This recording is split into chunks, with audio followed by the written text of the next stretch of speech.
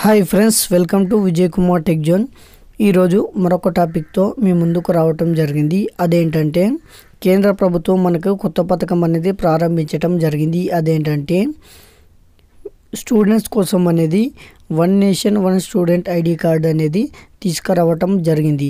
అదేంటంటే ఆపార్ ID card అనమాట ఆపార్ అంటే ఆటోమేటిక్ పర్మనెంట్ అకాడమిక్ రిజిస్టర్ అనమాట అంటే ఈ కార్డు ద్వారా మనకి ఏం లబ్ధి అవుతుందంటే మనం ఎక్కడికి వె- అయినా వెళ్ళిన తర్వాత మనకు కొన్ని సర్టిఫికెట్లు అనేటివి మనం మర్చిపోతాం కదా. అలా మర్చిపోయిన సర్టిఫికెట్లు కూడా మనము ఆధార్ కార్డు ద్వారా అంటే సపోజ్ ఆధార్ కార్డు ఉంటుంది కదా మనకు ఆధార్ కార్డుతో మిగిలిన ఆధార్ కార్డుకు అనుసంధానమైన సర్టిఫికెట్లన్నీ మనం డౌన్లోడ్ చేసుకోవచ్చు కదా.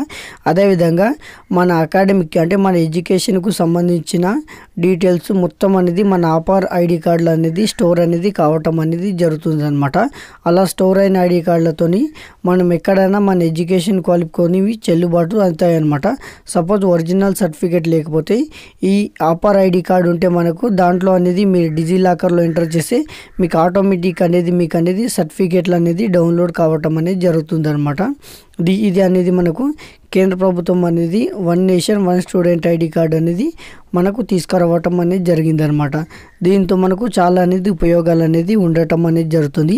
ప్రతి ఒక్క స్టూడెంట్ అనేది ఈ కార్డు అనేది మనం తీసుకుంటే మనకు సంబంధించిన డాటా అనేది కంప్లీట్గా మన సర్టిఫికేట్ మన దగ్గరనే ఉంటాయన్నమాట. ఇప్పుడు నేను చూపిస్తాను ఈ కార్డు అనేది ఏ విధంగా డౌన్లోడ్ చేసుకోవాలో. ఇప్పుడు ఫస్ట్ మీరు గూగుల్లోకి వచ్చేసిన తర్వాత ఏబీసీ అని టైప్ చేయండి. మరి ఇక్కడ గూగుల్కి వచ్చి చేసిన తర్వాత ఏబీసీ అని టైప్ చేస్తే మీకు ఇక్కడ ఒక ఏబీసీ అని రావటం అనేది జరుగుతుంది. ఇక్కడ మీరు కిందికి చూసుకున్నట్లయితే నేను స్క్రోల్ చేస్తున్నాను. ఈ ఏబీసీ అంటే ఆపార్ కార్డ్ అనేది ఏ విధంగా డౌన్లోడ్ చేసుకోవాలో ఇప్పుడు నేను చూపిస్తాను.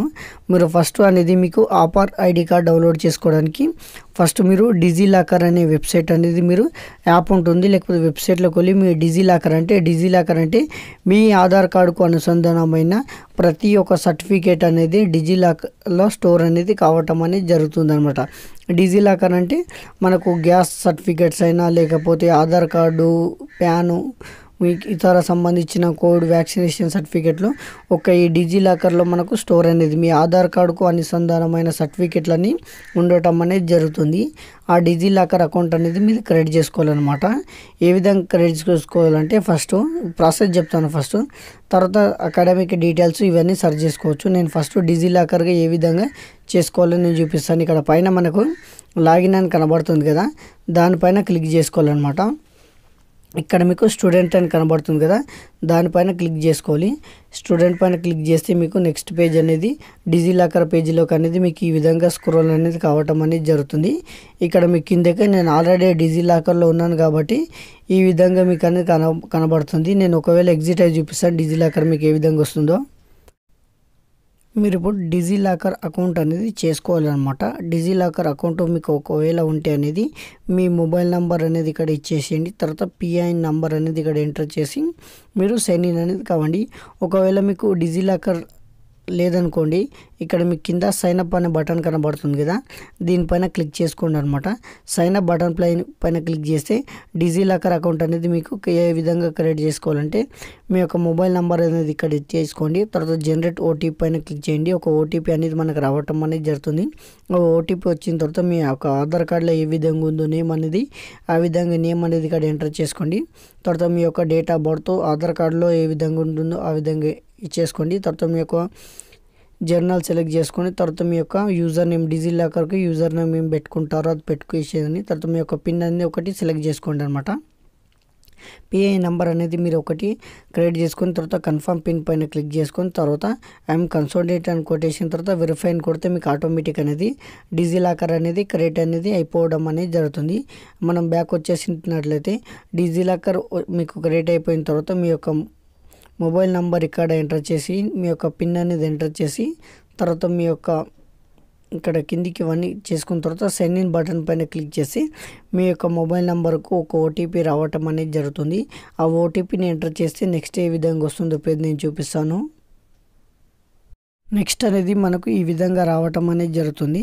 మనకు ఏవే డాక్యుమెంట్స్ అనేది ఉన్నాయో ఇక్కడ మనకు అనేది కనబడటం అనేది జరుగుతుంది. కిందికి ఈ విధంగా మీకు ఎన్ని రోజులు అనేది సర్టిఫికేట్ అనేది కావాలి అని అడగటం అనేది జరుగుతుంది. నేను ఇక్కడ ఈ డేట్ అనేది మనం మెన్షన్ చేసామన్నమాట.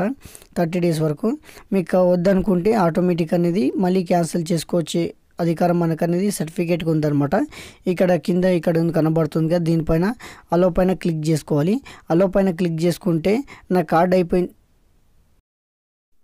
మనకు నెక్స్ట్ అకాడమిక్ డీటెయిల్స్ అనేది అడగటం అనేది జరుగుతుంది. అకాడమీది ఏమి క్వాలిఫికేషన్ అక్కడ ఎంటర్ చేసుకోండి. తర్వాత అకాడమిక్ ఇయర్ తర్వాత ఐడెంటిఫికేషన్ టైప్ అనమాట మీ యొక్క నేను నా ఐడెంటిఫికేషన్ టైప్ నేను రూల్ నెంబర్ అంటే టెన్త్ క్లాస్ యొక్క రూల్ నెంబర్ అనేది నేను ఎంటర్ చేశాను. ఎంటర్ చేసిన తర్వాత సబ్మిట్ పైన క్లిక్ చేసి ఈ విధంగా మీకు అనేది ఆధార్ కార్డ్ అన్న నంబర్ అనేది రావటం అనేది జరుగుతుంది అనమాట డౌన్లోడ్ కా కార్డు పైన కొడితే మీకు ఆటోమేటిక్ అనేది కార్డు అని ఈ విధంగా రావటం అనేది జరుగుతుంది.